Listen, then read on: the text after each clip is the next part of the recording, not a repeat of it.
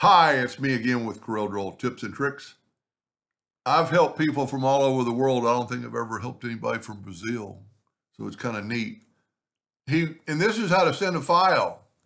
The leaves look a little fat, could be slimmer. Follow the curve is starting on the red dot. And I've done it, and um, he said it's actually better, so I thought I'd show him how to do it. So that's 0.73, well, this is 0.77. So what we're going to do, and I'm just working with this leaf, I'm going to see how big this is. It's, you know, real little, my nudge factor set on two. I'm going to make a duplicate and move it up, but I'm also going to make a duplicate of the red dot and move it up. But then I'm going to make another duplicate and move it over because I'm going to do it two different ways. So what we're going to do here is just, he doesn't want to make the entire leaf smaller. He just wants it a little thinner right in here. So let's take both of these and we're going to left click, right click. Now, and for the one I'm doing it for, I'm going to do this. Your leaf is a little uh, rough. And when we contour it, the contour part's going to be rough.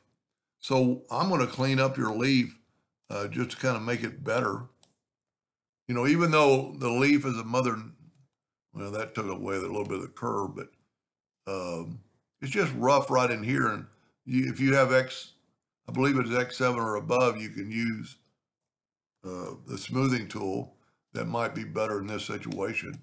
But you've got to click on your item and get your nodes visible. See how they just cleaned it up quite a bit? Because when we contour like we're going to do on this first one, it's going to make a big difference. So now I'm going to take the line and go to effects and contour.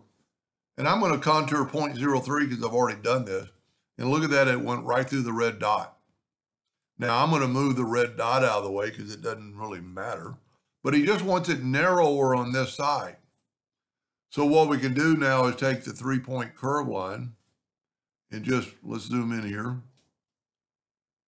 and get this pretty good and even and kind of go like from right there to right there, give a little bit of a curve. Go up to the top, and we could probably actually go straight across. And whoop. Because we're just going to cut this line out. Whoop. We're just going to cut this line out on the other side. Well, that's not going to work with that line up. Okay, whenever you can't cut something, it's because you've got to select it all and break the object apart because you didn't break the contour apart. So I need to do a little bit better job on this part. Matter of fact, I can move this line away because that's my line. And I could just take the shape tool, whoop, grab the shape tool and just bring that, bring that node up. And now if you look, we're going to use the smart fill tool, fill it in, and that leaf is that much narrower, narrower, narrower. I'm going to left click, right click, and then because I can match that same color either with the color smart fill tool or the color eyedropper. We're going to take a sample. Now in this drawing, and then I'm going to take away the outline. In this drawing is a little, I'm going to make a a copy of it and you just move it over there and you can see it's not visible.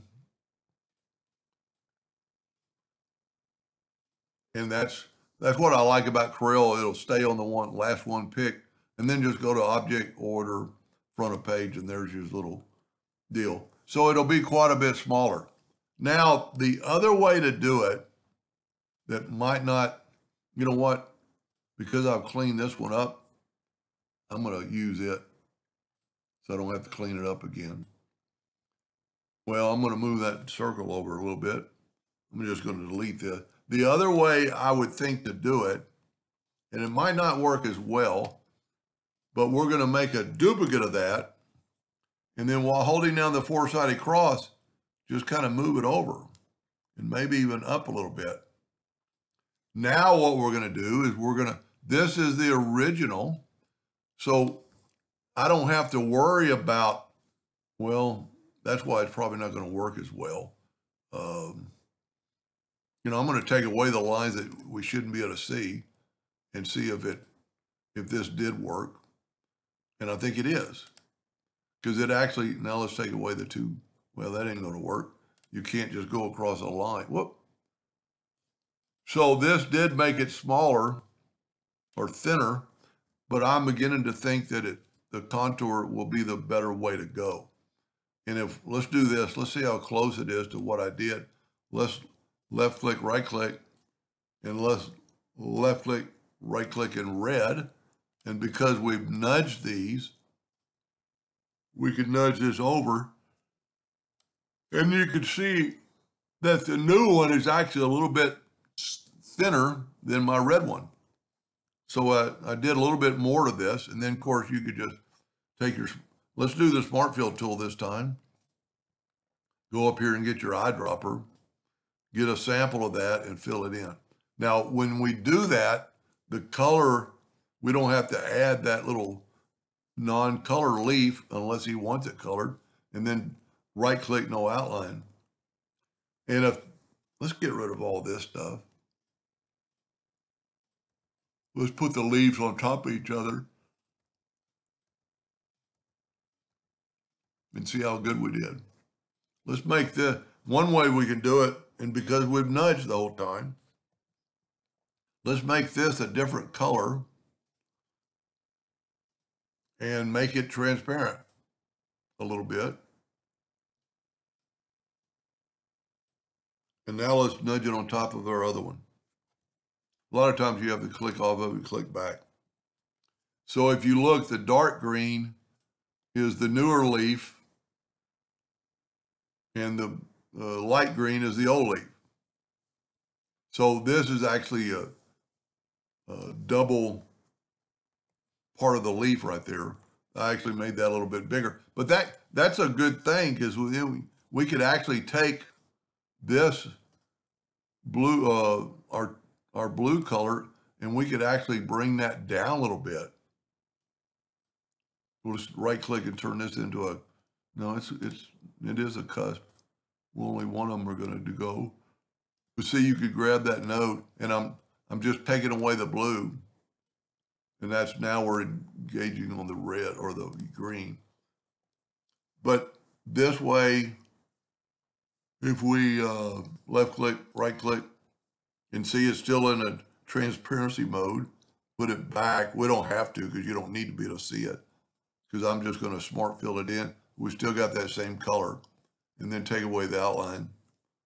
A lot of times you'll have to select it all to take away the outline.